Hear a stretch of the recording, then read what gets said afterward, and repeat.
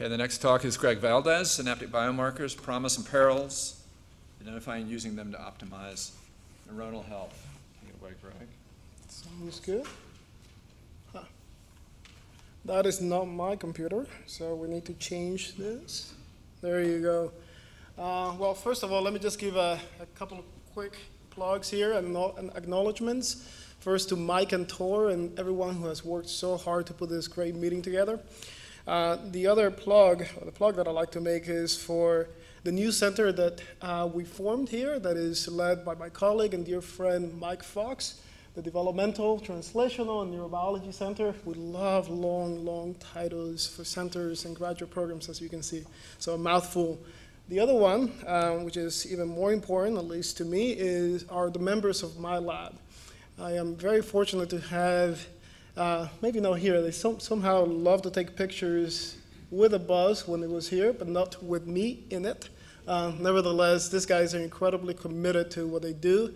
Um, they work very, very hard, and as all of you who are uh, he- heads of lab know, we can't stand up here and do what we do and present our data if they don't do um, their, their work and, and commit themselves as much as they do. So thank you to all of them. Um, so what do we do in my lab? So I guess I have to stay here. Uh, so what we do in my lab is, uh, in general, is to look at um, age-related changes in the nervous system, but also uh, outside of the nervous of the central nervous system, in the peripheral nervous system.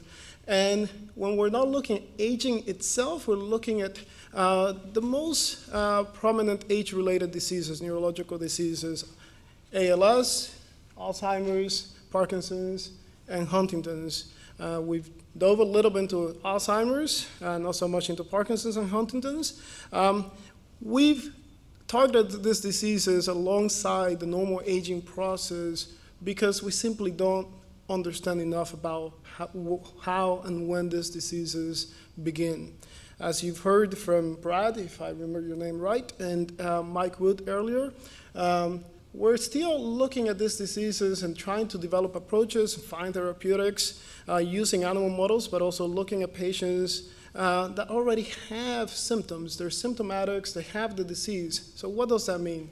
That means that there's an ongoing fire in the brain, spinal cord, skeletal muscles of those individuals. And that is a problem, right? That's a big problem because we're not really treating the disease itself, we're treating the symptoms. Um, when we look at biomarkers, we're not looking at biomarkers that tell us when the, the disease is about to happen, and therefore whether we have a therapeutic an approach that can not just mitigate but stop the disease. We're looking at biomarkers as uh, shown here, oftentimes that are associated with a lot of different uh, metabolic, uh, molecular, cellular changes in the brain and other regions of the body. And so they're not exactly very accurate um, indicators of whether someone is going to have the disease. They simply tell us that they do have the disease, and that's a problem for uh, finding therapeutics. And I think that Reed, in addition to molecular biomarkers, alluded to the other problem, that is we don't have the phenotypes. Uh, we need to continue to work on that, and Brad talked about that quite well, er, quite well, well earlier. Um, so, what is it that we're trying to do in my lab specifically? Obviously, we can't look at everything. We're looking at synapses. Okay, We're looking at what is it that happens to uh, synapses with aging, but some of these age-related diseases, and very specifically, at least 70% of the lab focuses on ALS in the realm of diseases. And we're interested in synapses, well, for the obvious, and that is that if you look at the literature, synaptic malfunction, synaptic dysregulation, is one of the first, if not the first, manifestation of any of these diseases Alzheimer's, ALS, and the other two. Um, when you graph this, what you find is that synaptic malfunction, but also synaptic loss, happens before metabolic and other molecular dysregulation, and certainly both of those happen before neuronal uh, neurons are lost. Right? And in order to manifest the disease, especially in ALS, you need to lose at least 70% of your motor neurons. That's quite a bit. I mean, the fire is pretty, has pretty much consumed most of the house, to keep running with that analogy. And so for ALS, we know, and this is work that we've done in my lab and that uh, other people have done, uh, we know that uh, synapses that uh, connect with motor neurons, the motor neurons in the spinal cord, uh, form with proprioceptive sensory neurons, but also descending primary, primary motor neurons, interneurons, that those synapses degenerate before the cell body, the motor neuron cell body soma, uh, dies. Right? We've published papers showing that this connection of motor neurons, the other end, the synapse that they form with skeletal muscles called the neuromuscular junction, that that synapse degenerates before synapses in the central nervous system, the ones, the inputs that come onto the soma of motor neuron um, degenerate. Right? So what this is telling us is that the neuromuscular junction may be the focus site of pathology. This is very important, right? So I'm making sort of a broad uh, statement here that synapses may be the focal site of pathology for some of these diseases, but synapses are not all created equal. Right? And this is exemplified by the synapses that are in the central nervous system for the lower part of the motor system and those that are in the periphery, the neuromuscular junction. So this synapse outside of the central nervous system is uh, much more susceptible to the disease. And what happens is that very early before symptoms, the synapse degenerates. The motor axon retracts from the, its innervating muscle fiber and dies, uh, degenerates, and then eventually the motor neuron dies. And this is better exemplified here, where after the synapse degenerates, this is a, a schematic from Don Cleveland. Uh, after the uh, synapse, the neuromuscular junction degenerates, there's a slew of cellular molecular changes that happens throughout the axon, the soma, and also in the spinal cord uh, around motor neurons. Now, what we've known for quite a while is that this degeneration of the neuromuscular junction that happens quite early, before symptoms, that actually continues to occur before we see any signs uh, of uh, motor function, any degeneration of motor function. And what happens is that, oops, a little bit too far up. What happens is that the motor axon retracts, the motor axon regenerates and reinnervates its muscle, and this happens for quite a while.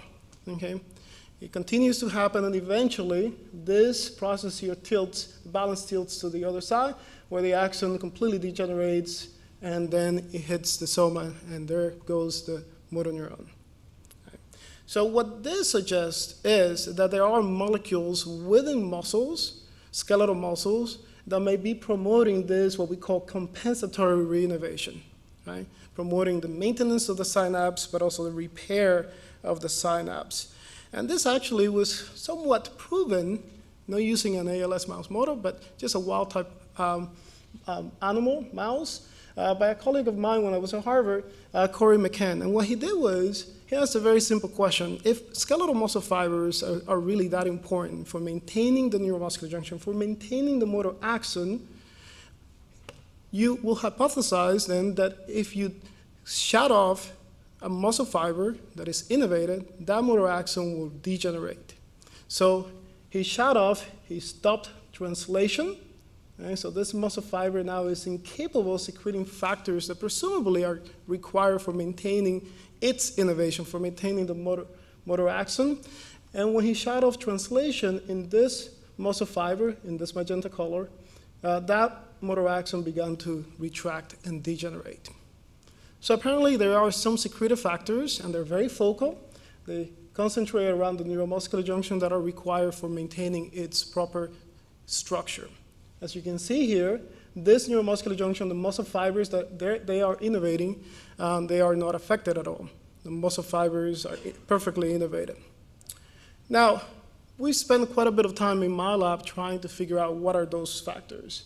And it's very difficult to do this using translational inhibitors, so we've developed an uh, injury method to do this. And what we've decided to do was, what if we can visualize and time the repair of the neuromuscular junction, every facets of it, every phase of regeneration of repair of the neuromuscular junction, can we then go back and look for molecules that are alter each one of those stages at those steps? So we developed a injury method, an injury assay that allows us to do that. And I won't go into a whole lot of details about this. A medical student in my lab published this in JoVE, and so there's a nice video that complements that. But basically what we can do is we can injure without completely severing uh, motor axons, we can injure the motor axons. It causes complete degeneration of its stump near the innervating muscles. And within seven days, the motor axons regrow to muscles that they innervate, in this case, the tibialis anterior, EDL muscles, those are extensor muscles, and the reform neuromuscular junction. And this is what that looks like in higher magnification. Early in the process, this is seven days, motor axons are beginning to find their previous targets, and then by nine days, you have motor axons that are now changing their growth cone from a navigating growth cone to a growth cone that has to form a presynaptic end, and then for faithful neurotransmission. And by 12 days, um, most of the motor axon has transformed itself into a presynaptic end. So those are the stages of repair, and this is quite um, reliable. When we do this across different animals, same sex, same age, we find that the same number, similar number of neuromuscular junctions show this type of features. Okay. So what we've done is we've taken advantage of this uh, improved assay for looking, assaying, looking for molecules involved in this process. Is telling an axon stop growing, transform from a growth cone to a presynaptic site, and reform uh, the, the synapse.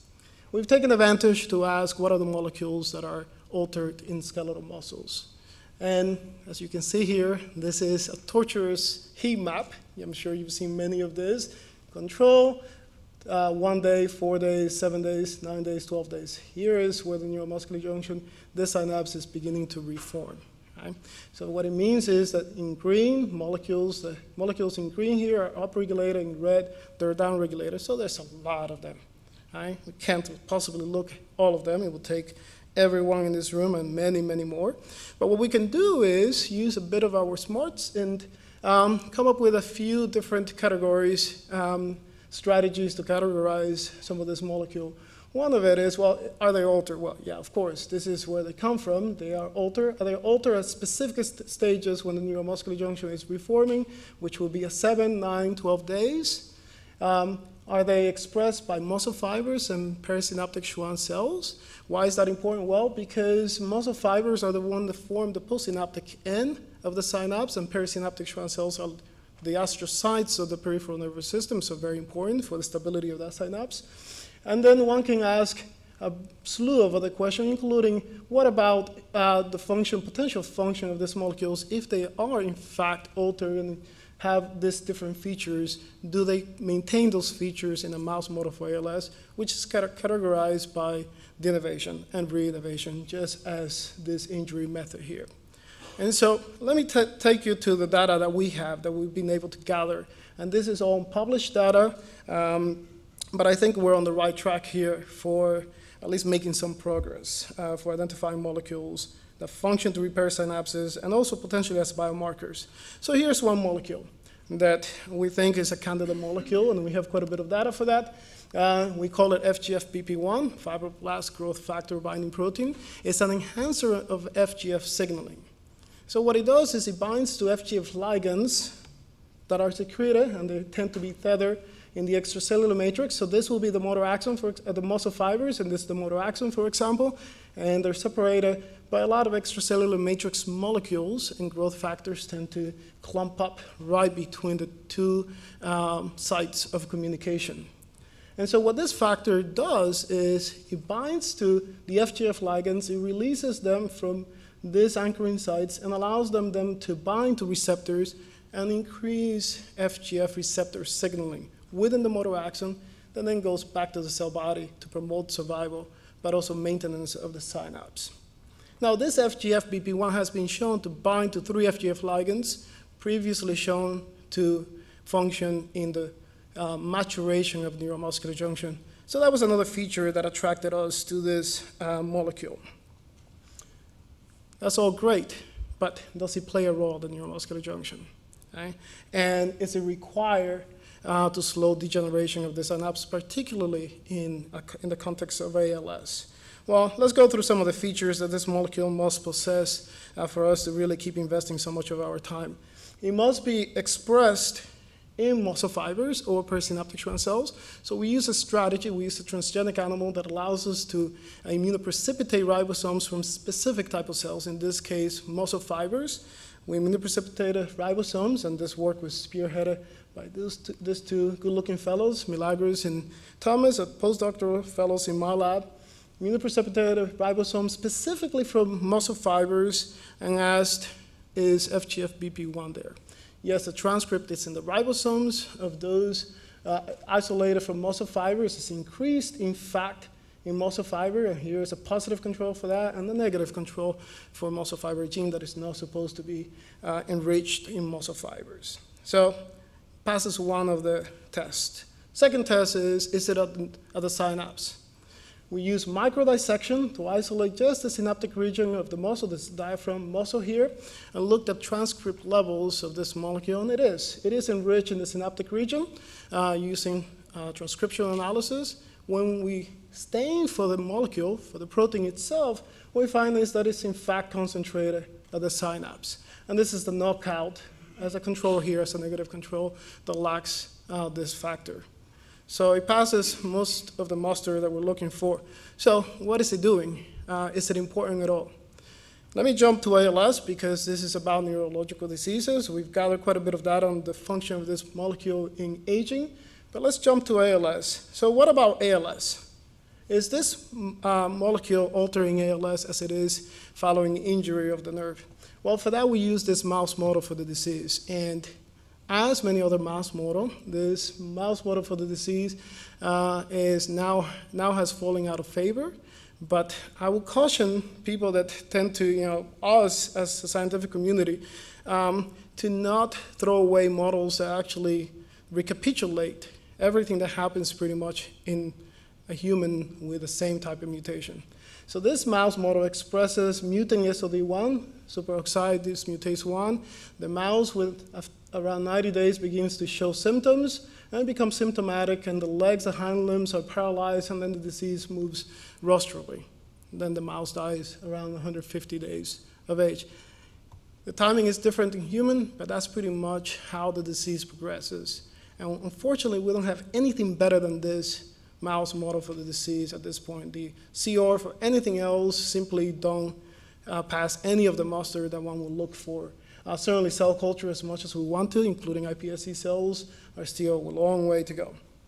So the innovation of neuromuscular junctions really happening around this stage. Lots of it, but it begins, some begin right around 60 and 70 days of age. So we ask, is this molecule altering this mouse model for the disease? It is. It is significantly decreased in the pre-symptomatic stage, and it, is, it remains decreased even during the symptomatic, early symptomatic stages of the disease, 90 days of age. So right around here, and then it remains decreased.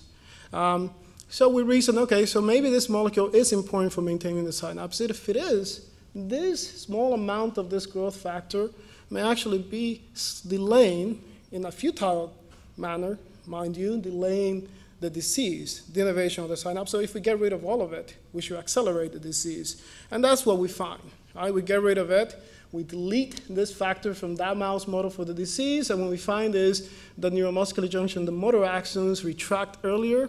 Uh, there's a lot more denervation, and not only that, so that's the focal site of pathology we believe, but what happens is that the mice die sooner. So uh, there's an acceleration of death in mice uh, that lack this growth factor compared to this mouse model for the disease. Uh, when you look at both sexes, with neurological diseases, you always have to look at sexes separately, uh, separately. And what we find is that, in fact, yes, it is required in males and it is required in females. Both of them uh, show an acceleration, an exacerbation of the disease progress uh, when we get, out, get rid of this molecule altogether.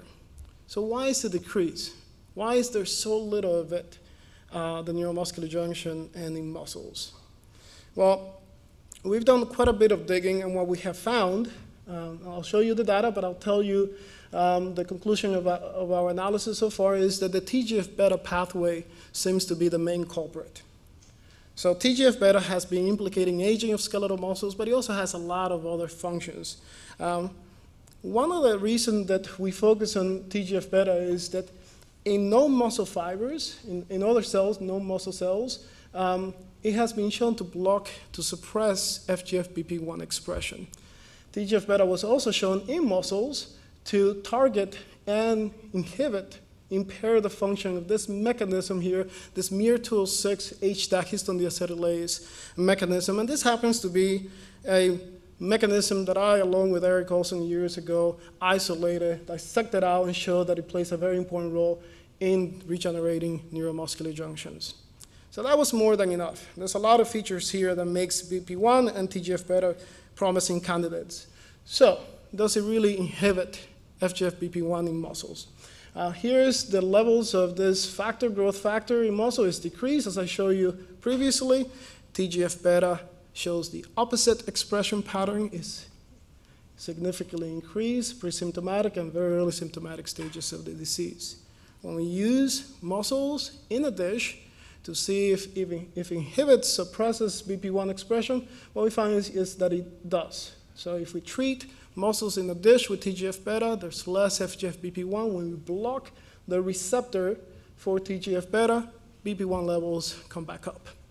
So, and we have other data that now are indicating that yes, this may in fact be the case.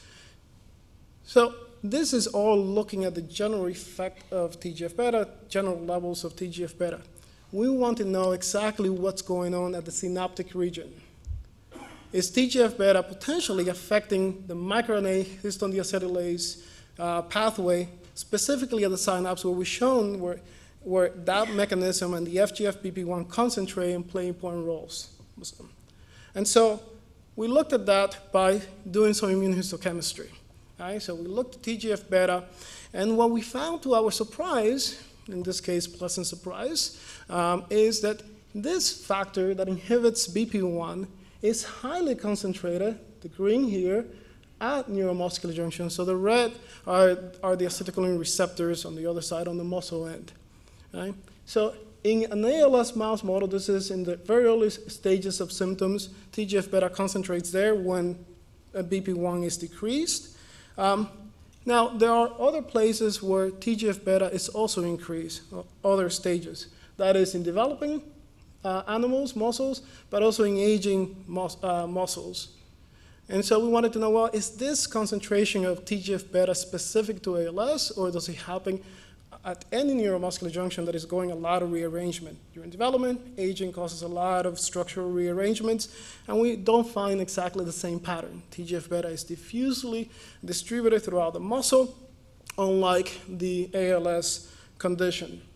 So this, I think, gives us some hope that um, we have found one factor that is significantly reduced. It's a secretor factor, so um, a little bit easier to work with. We know that it's in the bloodstream, so it may be a candidate for uh, uh, uh, as a biomarker. And the other one, TGF-beta, is also secreted.